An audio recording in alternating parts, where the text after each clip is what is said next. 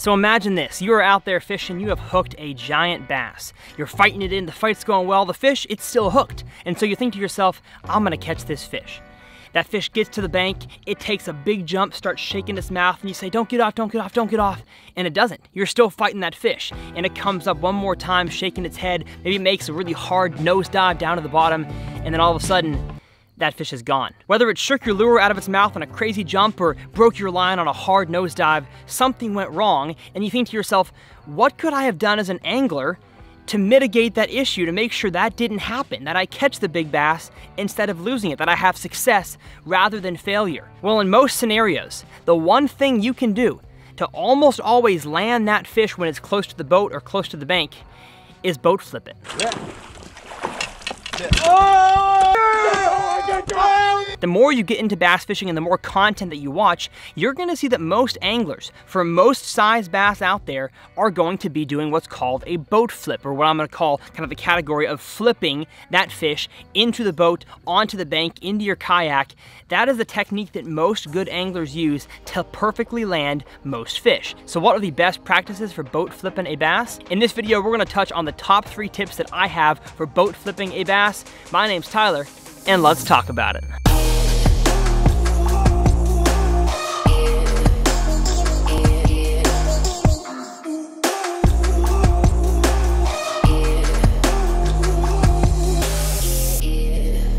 Well, how's it going everybody and welcome back to Tyler's Reel Fishing. My goal here on this channel is to help you guys become better bass anglers with every single video that I make, whether you're a bass boat angler, kayak angler, bank beater, or anything in between, my videos are for you guys. So if that sounds like something you're interested in, hit that subscribe button to join Team TRF. Now, I love doing very technique specific videos on this channel that uh, can apply to the, the majority of you guys out there. And this one I feel like applies to every single angler, no matter your skill level, no matter where you fish, and of course, no matter matter what species of bass you fish for. And heck, this can even apply to catfish, white bass, stripers. Really, any type of fish is a fish that is able to be boat flipped. Now, the biggest issue we're going to attempt to cover and thus fix in this video is going to be breaking your equipment. When you boat flip or bank flip a bass, it is possible to break your rod, which is a big deal. We don't want to do that. Or to break your line, which is less a big deal, but of course, you lose the fish in either situation. So we want to completely get rid of that by teaching you guys the three best practices for boat flipping a bass. Now when it comes to breaking your rods, there's a video out there by a buddy of mine named Tyler at Bass Fishing HQ, a really awesome channel that y'all will actually see some collaborations with here on TRF and on his channel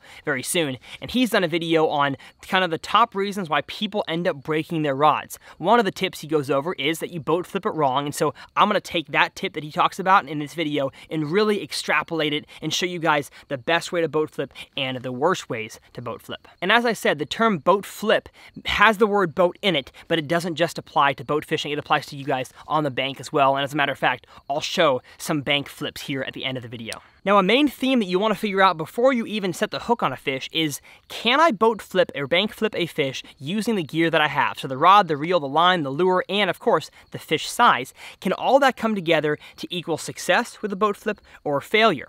And we're going to talk about all those conditions. First of which being the fish's weight. In my experience, I've never boat flipped anything over six and a half pounds, and you probably shouldn't. As a matter of fact, the one in this thumbnail and the one you'll see here in this video that was six and a half pounds, I definitely should not have boat flipped that fish, especially with the gear that I had. It was a 610 medium heavy, 15 pound fluorocarbon. I have been fishing in brush all day. The line was frayed. Everything was not lining up to have a successful boat flip, but somehow it got in the boat.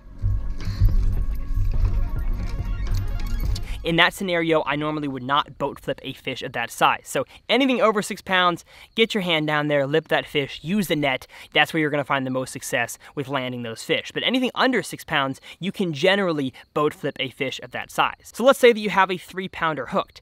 Can you boat flip that fish? Well, there's two different lure types. There is single hook lures. We're talking about your jigs, Texas rigs, uh, you know, soft plastics. That's going to be your single hook. And then you have your treble hook lures. So single hook, 100% of the time you can boat flip unless, of course, you see that fish is maybe barely hooked with a little bit of skin on the, on the inside of the mouth. Maybe then you should have a little more caution before you boat flip it. So almost 100% of the time you can boat flip a fish on a single hooked lure. But a treble hooked lure, I would say it's kind of a case by case basis. Sometimes you're going to be able to boat flip with a treble hooked lure, sometimes you're not. Again, it all depends on how well you see that fish hooked, and especially if that fish is jumping near the boat, you're going to want to use one of those jumps to get that fish in the boat because fish love to shake off a crankbait, treble hook, topwater lure uh, close to the boat. And so if you can use a, a boat flip technique, you're going to get that fish in the boat the majority of the time. So once you've assessed the situation and realized that you can boat flip a bass that you have hooked, the top three things that I'm gonna tell you guys when boat flipping a fish to find success are going to be momentum, consistency and pressure, and hand placement. Those three things, if you do them all correctly and in the correct order, you're going to find success with landing the fish and not breaking your equipment, the two things that we're trying to find out how to do well in this video. So what do I mean by momentum? What I mean by that is that you want the fish to be moving towards you or in one direction, whether left or right. I'm talking if you're if you're standing here on the bank or on the boat, you want the fish moving in a consistent direction at a consistent speed so you can use that momentum with your rod to flip that fish either into the boat or onto the bank. You do not want to go against the momentum of the fish. When that fish is in control, that fish is going to be taking dives, going to be jumping up in the air, it's going to be going left and right, taking drag out, especially on a spinning rod. Boat flipping is usually not recommended on a spinning rod. Um, but when you have a fish that's in control, you don't have control of the momentum. But you want to make sure, if possible, you can get that fish moving in one direction then use that fish's momentum to lift it up into the boat or on the bank. Momentum is the most important thing because if you have a fish that's, you're fighting it in and then all of a sudden you think it's time to boat flip that fish, and it decides, nuh-uh-uh, not today, and it takes a dive, but you've already began the process of lifting your rod tip, that's gonna be two forces acting in opposite directions, which will cause your rod, well, hopefully not your rod first, hopefully your line first, but it can cause your rod to break or at least fracture or, or weaken in some way, and we want to avoid that completely. So just use the fish's momentum to the best of your abilities, and we'll have tons of examples of that throughout the rest of this video. The second piece of advice that I have is consistency in pressure, and that kind of goes right along with momentum, in that when you are fighting that fish, uh, it really goes for the whole fight, not just the boat flip. You don't want to be setting the hook hard and then giving it slack, and then setting the hook hard and then giving it slack, and then setting the hook hard. You want to set the hook once to get the hook in that fish's mouth, and then you want to have a consistent pressure all the way in. And if that fish fights near the boat, you want to make sure that you are lowering your rod tip, maybe uh, loosening your drag. That way that fish has a consistent amount of pressure, so you're not going to break your rod or your line. And then the biggest thing when it comes to boat flipping a fish to have consistency and pressure is that when you go to grab your rod and lift up, you want to use a consistent amount of pressure when you're lifting your rod up to slowly heave that fish into the boat or onto the bank. That's the second most important thing. And the third most important thing is going to be hand position. Let's say that you're using a standard bait casting reel like I am right here. I don't know if the screen flips it or not, but I have my left hand on the reel and the rod. My right hand is used to reel. So let's say that I cast out there, catch a fish, I'm reeling it in, I'm never going to move my left hand off of this position right here. I'm just gonna move my right hand from the reel handle somewhere along this first stretch of rod up until the first guide. A problem I see, especially high school kids out there, I've literally watched them break their rods before as they boat flip because they keep their rod in their left hand. That's great. But they go to flip the fish in and they grab it sometimes by like the fourth or fifth guide up. So the only part that you actually have bending on the rod is going to be the last part of the rod. And because most bass fishing rods nowadays are a parabolic action, that means they are designed to bend from all the way back here to the tip from the, where the reel is to the tip, that's where they are designed to bend. It is a parabolic action. And so if you put your, your, your, your left hand on the reel, your right hand up here, and again, it's flipped if you're using a left hand retrieve bait caster. You put your, your hand all the way up here, this whole section right here is completely stable.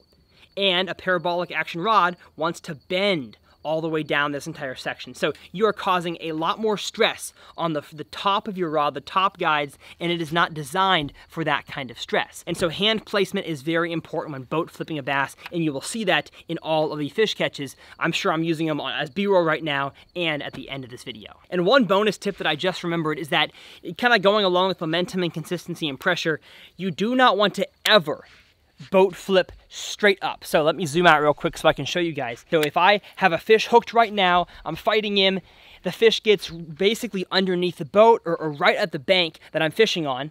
You never want to, I see it happen all the time, even on like Bill Dance TV shows.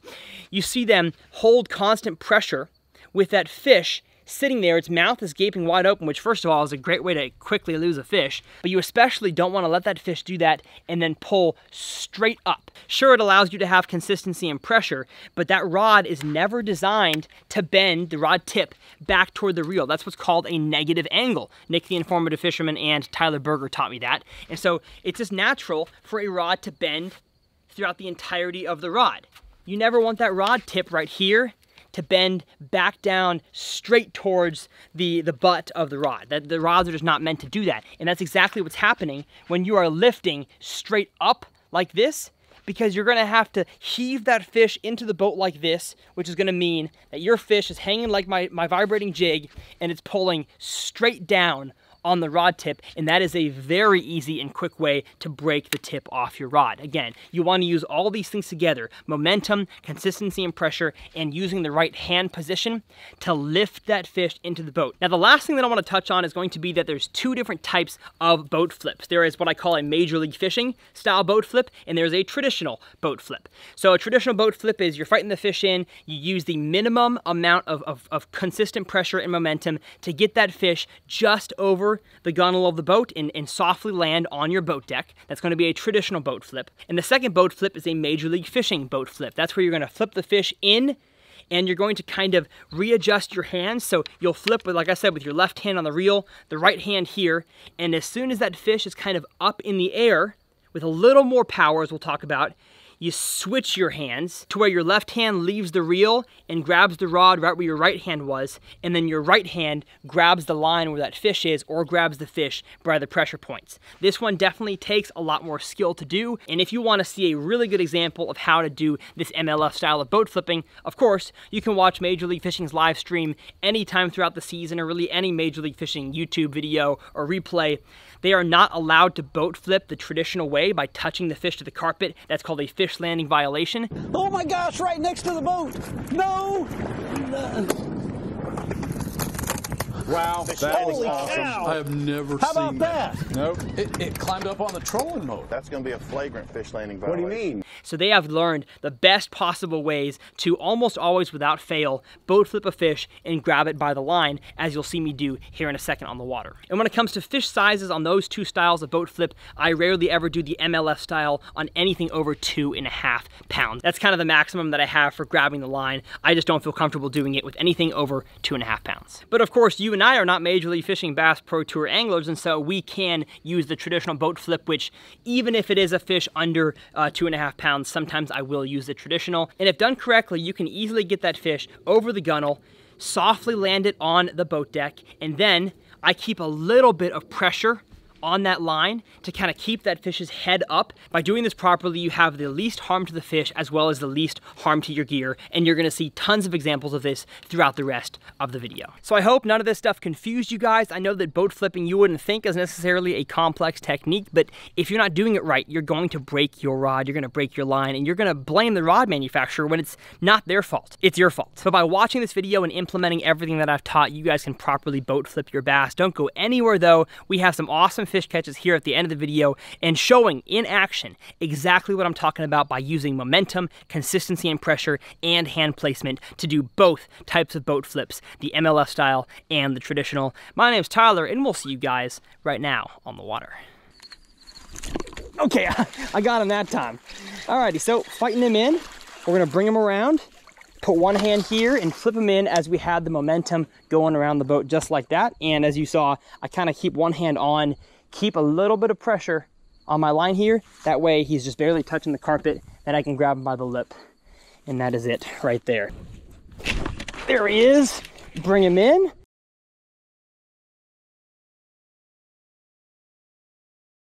Gonna play him slowly, making a run towards me right now. Flip him in and grab the line. That's an example of MLF type boat flip where I get him up in the air that would that, that, that kind of flip would be too much if it was big and I wanted him to kind of nicely land on the carpet. But that one I wanted to grab the line. So I flipped it up, grabbed the line without getting that rod tip at a negative angle where it could break. There's one little guy fighting him in. I'm gonna ski him across the top of the water, just like this. Boat flip him in, grab the line. Just like that, boys and girls. It is nice and easy. No need to break rods. No need to hurt the fish. It is a nice, simple, smooth process that you guys can learn for yourselves. There's one. Hey, hey, okay, here we go, here we go. Show you guys in action. It's going to be a MLF boat flip. Fish is jumping. Again, momentum is switch hands, boom. That right there, folks, is how it's done. There's one open. He's barely, he is barely hooked. So, oh my gosh, they fight so strong in here. Oh, he is barely hooked. He's got some grass on him. And so, we are actually not going to boat flip this fish. We're gonna get down there and we're gonna lip him because he's only got tiny bit of a hook in him. And again, it, it takes that, that mid, mid, mid uh, fight analysis to know I could not have boat flipped that fish. Now, maybe when I go to get the hook out, I'll notice he was better hooked than I thought. And yeah, he was better hooked. But by seeing a hook outside the body like that, okay, maybe that pops right out. I might not have been able to get the right angle to properly boat flip that fish. And I might not have broken my equipment, but that is a fish that is easily lost. So I'm glad we didn't. I'm glad we took it slow and I went down and lipped that fish. Got him, there we go. Alrighty, oh, he's fighting hard.